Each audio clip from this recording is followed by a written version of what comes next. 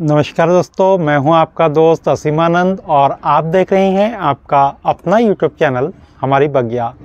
दोस्तों, अक्सर हमारे पास ग्रो बैग की कमी पड़ जाती है, लेकिन ऐसे में हम ग्रो बैग बना सकते हैं अपने घर पर। वो भी बिल्कुल जो वेस्ट सामान होता है, हमारे घर में जो आटे और चावल के कट्टे आते हैं तो उसका यूज़ करके बना सकते हैं। ये देखिए, चावल का कट्टा है और इसी का ग्रो बैग मैंने बना दिया है।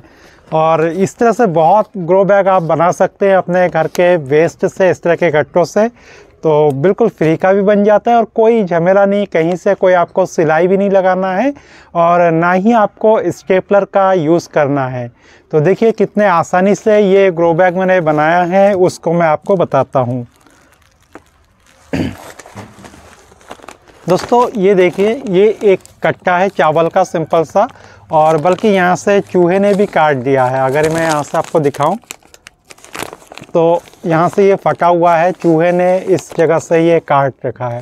तो यहीं से मैं इसको क्या करूँगा, कैची से सीधा सीधा कट कर लूँगा आपके सामने और देखिए ग्रो बैग किस तरीके से मैं तैयार करता हूँ।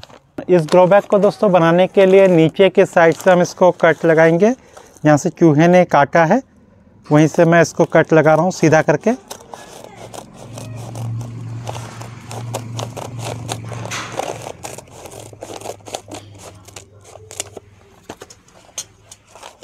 और दोस्तों, ये देखिए, ये कट गया है।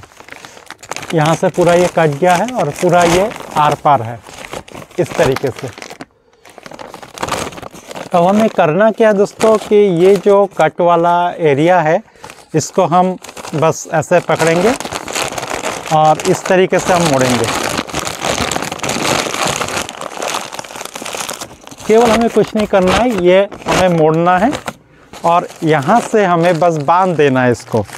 तो इसके लिए एक डोरी का मैं यूज़ कर रहा हूँ, इस तरह का जो सुतली होता है, और इसको मैं सीधा केवल बाँध दूँगा।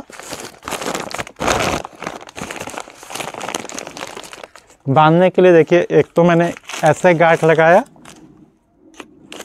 ऐसे कर सकते हैं, फिर ये मैंने अंदर से लिया, ये यहाँ से लिया, और यहाँ से मैंने ये अंदर से डाल दिया।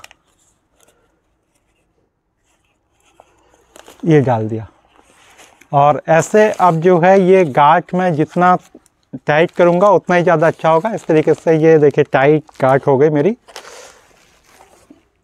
ये। और थोड़ा मैं ये डबल कर लेता हूँ। और इस तरीके से मैं गाठ लगा दूँगा।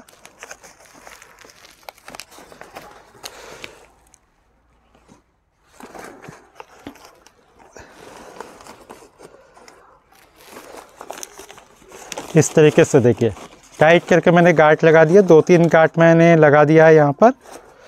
और कुछ नहीं करना है, बस ये एक्स्ट्रा जितनी डोरी है, उसको मैं कट कर देता हूँ। यहाँ से।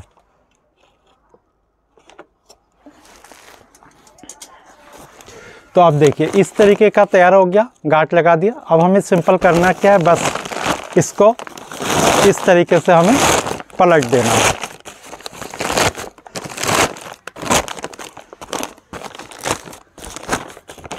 इस तरीके से हमने पलट दिया।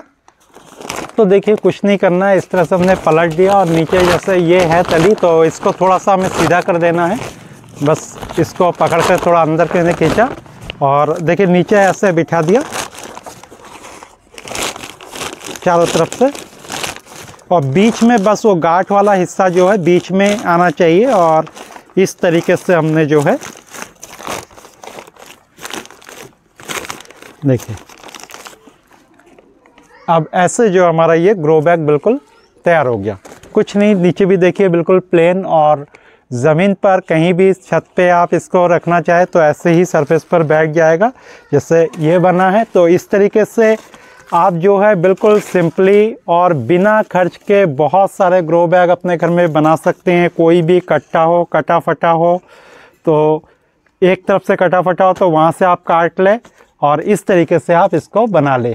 तो देखा आपने कितना सिंपल है इस तरीके से ग्रो बैग बनाना और इस तरह के ग्रो बैग में आप कोई भी सब्ज़ी लगा सकते हैं।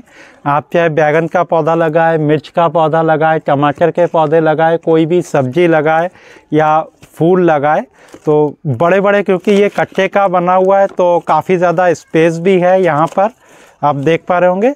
ये जो है सोलह इंच के लगभग इसका स्पेस बन जाता है। अगर हम चावल के कट्टे का यूज़ करें और इस तरह से हम चाहे बड़े कट्टे लें, छोटे कट्टे लें तो कोई भी चीज़ का यूज़ करके इस तरीके से हम सिंपली ग्रो बैग बना सकते हैं।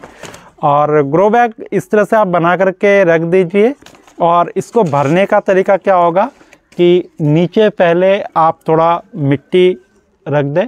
मिट्टी हो या आपके गोबर की खाद और मिट्टी का मिक्सचर हो तो थोड़ा सा एक लेयर आप यहाँ तक इसको भर ले इसको और भरने के बाद थोड़ा सा दबा दे। चारों तरफ़ से जैसे ये बैठ जाता है। उसके बाद आपको करना क्या है कि आपके घर के जो किचन वेस्ट है, उसको आप उसके ऊपर, मिट्टी के ऊपर आप किचन वेस्ट को डाल दें और किचन वेस्ट जब थोड़ा सा भर जाए तो थोड़ा सा मिट्टी और उसमें छिड़क दे। फिर जो है, फिर किचन वेस्ट को डालें और फिर जो है, आप उसको ऊपर से मिट्टी से या जो भी गोबर की खाद, मिट्टी, इन सब का मिक्सचर बना करके ऊपर से थोड़ा सा डाल दें। और डालने के बाद शुरू में आप कोई साग वगैरह लगा दें जिसकी जड़ें नीचे कम जाती है तो ऊपर की जो मिट्टी है उसमें साग वगैरह आपकी हो जाएगी।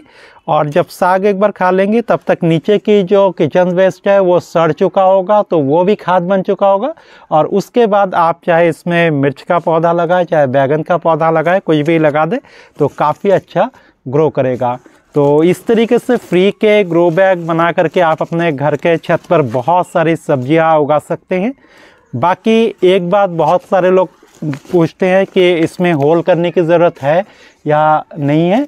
तो दोस्तों होल के लिए मैं आपको बता दूँ, अगर इसमें प्लास्टिक इस तरह से चढ़ा हुआ है और जो है इसमें पानी का ड्रेनेज नहीं हो रहा है तो आप मिट्टी भरने के बाद बाद में जो है कुछ एक होल आप किसी मोटी सुई से आप कर सकते हैं या कोई तार लेकर के आप इसमें होल कर सकते हैं। थोड़ा थोड़ा आप साइड साइड से होल कर देंगे इसके तो काफ़ी अच्छा ये हो जाएगा। उम्मीद है दोस्तों, जो ये ग्रो बैग मैंने बनाना आपको सिखाया, काफ़ी पसंद आया होगा और इस तरह से सिंपल ग्रो बैग बना करके आप भी अपने घर में खूब सारी जो बागवानी है, वो करेंगे। आज के लिए बस इतना ही, फिर मिलते हैं एक नए वीडियो के साथ।